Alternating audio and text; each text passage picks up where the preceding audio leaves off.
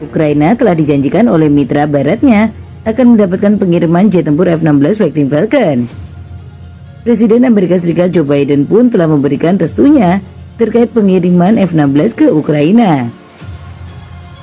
Selain F-16, Ukraina mendapat peluang lain untuk mendapat jet tempur Saab Gripen dari Swedia atau dari negara lain yang ingin menyumbangkan jet Gripen ke Kiev.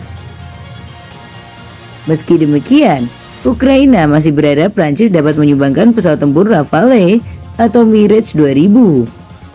Selain itu, Ukraina juga menginginkan radar Prancis dapat mengirimkan radar baru untuk diintegrasikan ke Su-27 sehingga pesawat ini bisa membawa persenjataan buatan barat. Keinginan Ukraina pun dibahas di parlemen Prancis setelah diungkapkan oleh anggota parlemen Julien Bayou. Namun nampaknya harapan Ukraina tidak akan terwujud karena mendapat sejumlah penolakan dari anggota parlemen Prancis. Keinginan Ukraina untuk mendapatkan jet tempur dari Prancis sebenarnya sudah diungkap berulang kali oleh Ukraina sejak tahun lalu. Portal Prancis Intelligence Online menyebut Ukraina setidaknya membutuhkan 40 unit jet tempur Mirage 2000.